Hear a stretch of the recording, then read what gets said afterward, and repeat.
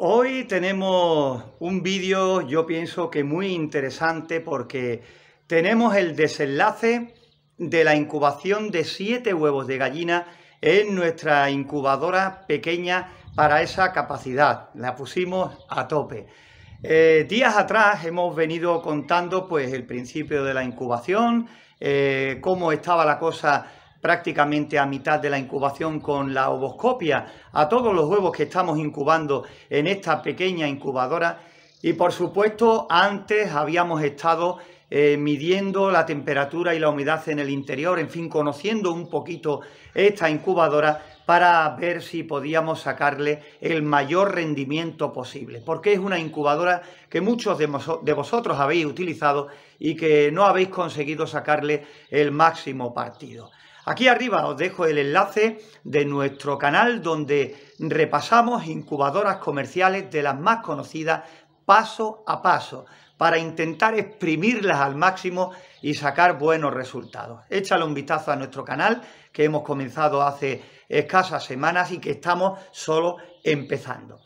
Dicho esto, pues bueno, eh, llega el momento de ver si hemos conseguido sacar buenos resultados a esta incubadora con siete huevos de gallina.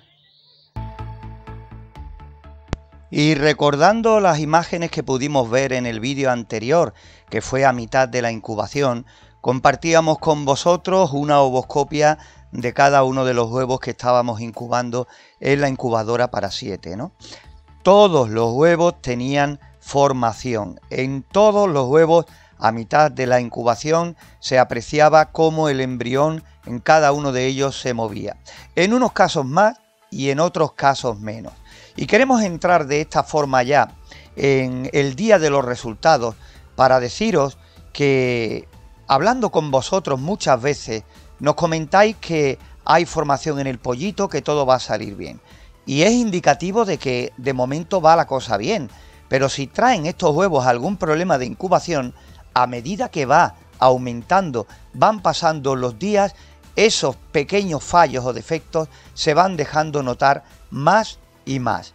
Por eso hemos querido comenzar con la ovoscopia, que nos sirve para ser positivos de cara a ver los resultados de nuestra incubadora, que ya sé que estáis impacientes y los vamos a ver dentro de muy poco. Pero queríamos comenzar de esta forma. De esto a los últimos 10-11 días de la incubación pueden ocurrir muchas cosas. Y sobre todo en esa etapa importantísima donde el pollito dentro del huevo va cogiendo cada vez más tamaño, cada vez eh, va cogiendo eh, más oscuridad el huevo, hace que las ovoscopias ya en la recta final prácticamente casi lo único que se pueda apreciar es la cámara de aire. Y ya después de ver estas imágenes de la ovoscopia a mitad de la incubación podemos pasar ya de lleno a lo que es el seguimiento en los últimos días, en las últimas horas de la incubación de estos siete huevos de gallina. Y nada más empezar, fijaros con lo que nos encontramos. Fijaros cómo nos hemos encontrado nuestra pequeña incubadora de siete huevos de capacidad. Hay pollitos dentro, parece que dos, pero como podéis ver muy poco espacio en el interior.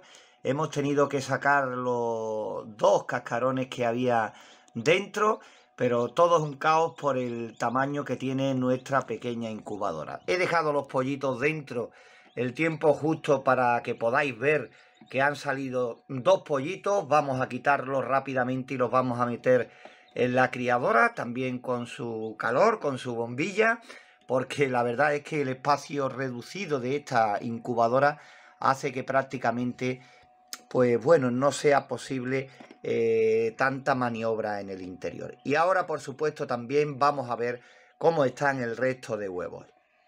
Fijaros que dos pollitos, pero ya digo, por cuestión de espacio prácticamente no hay eh, un resquicio para nada.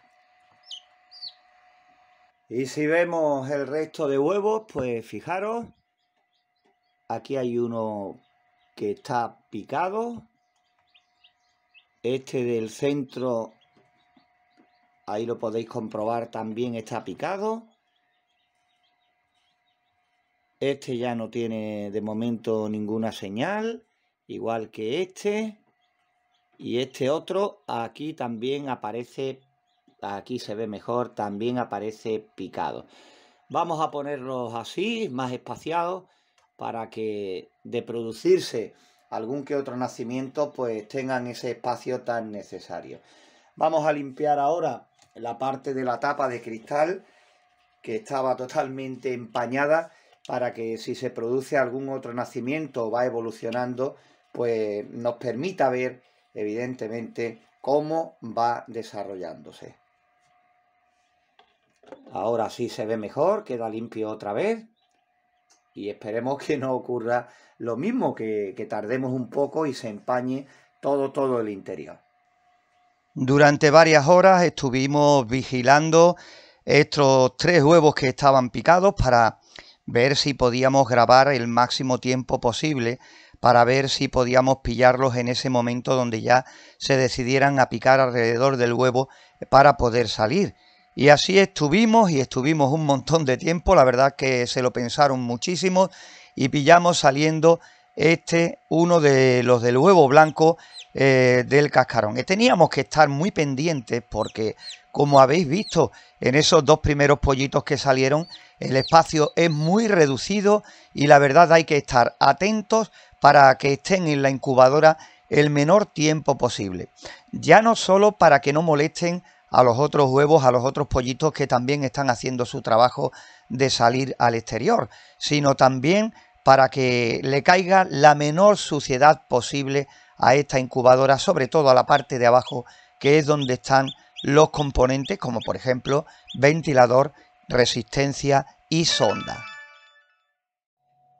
Pues ahí está, le ha costado, pero al final tenemos otro nacimiento más en el interior de nuestra pequeña, pequeñísima incubadora para siete huevos de capacidad. Ahí está, de nuevo el cristal empañándose. Ya he perdido la cuenta de las veces que, que lo hemos tenido que limpiar, pero con mucho gusto porque si es para cosas como esta, pues la verdad es que no importa. Ahí lo tenemos, cogiendo fuerzas poco a poco. Quedan tres huevos todavía en el interior, ya vamos viendo cómo se va desarrollando. De momento parece que los dos de atrás no tienen intención de salir, pero este vamos a esperarlo porque yo creo que dentro de unas horas pues saldrá adelante. De momento no está mal, van cuatro pollitos, ese que está picado y los dos que quedan pendientes. Y lo cierto es que este último huevo que quedaba picado eh, se lo pensó y mucho, porque le dimos bastantes vueltas a lo largo del tiempo que estuvimos con la incubadora y se lo pensó, se lo pensó. Eh, picó lo que veis, una apertura bastante grande, pero después hasta que echó a andar otra vez de nuevo picando alrededor, pasaron, la verdad, algunas horas. Pero así y todo, después de esas horas, cuando ya estábamos casi pensando ayudarlo, pasó esto. Y mira que hemos tardado poco tiempo en dar una vuelta de nuevo y cuando hemos llegado, pues el tiempo justo para limpiar otra vez el cristal, o mejor dicho, el plástico de la tapa para poder ver algo en el interior, porque podéis comprobar que estamos grabando eh, lo he limpiado ahora, ahora mismo y ya se está poniendo otra vez empañado. Pero ahí lo tenéis, el pollito que quedaba pendiente por salir. Ahí está, completamente extenuado. Eh, llevará pocos segundos fuera.